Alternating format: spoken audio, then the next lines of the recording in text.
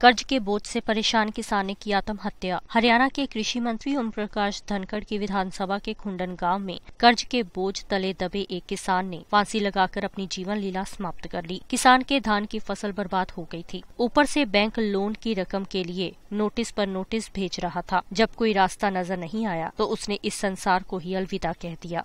ये प्रकाश की ज़मीन थी जी। माड़ बाटे पर बो रहा था। दो किले उसकी अपने घर की ज़मीन थी। सात एक, आठ एकड़ में धान वगैरह बो रखे थे जी। और इसमें पानी भर गया जी, और अगली फ़सल की बुआई नहीं हो रही जी।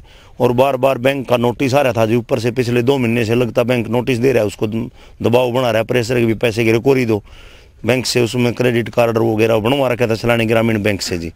तो मजबूरी मोर जमींदार क्या करेगा जी?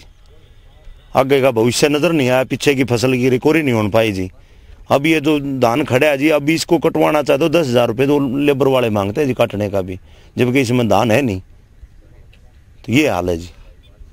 मजबूरी में जमींदार ने कदम उठाना पड़ा जी। लेकिन दावे तो किए जाते हैं कि बर्बाद होने पर भी मुआवजा मिलता है किसानों का कल्याण हो रहा है। कहाँ हो रहा है जी? किसी को नहीं मिला अब तक तो जी। पीछे भी पहले महाराष्ट्र वगैरह में कितने जमींदार मर रहे जी कोई मुआवजा आज तक तो हमने किसी सुना नहीं जी कहीं किसी ने दिया है।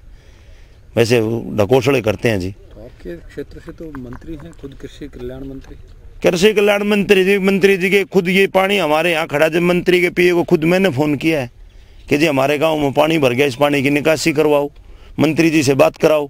बार बार वो कहता रहा कि मैं कराता हूँ मंत्री जी गुड़गांव हैं हम मीटिंग में हैं आपका मैसेज मंत्री जी को दे देंगे। तो मतलब हाँ जी उसके बाद कोई आन के न हमारे ना मंत्री जी आया जी ना और कोई प्रशासन अधिकारी आया जी।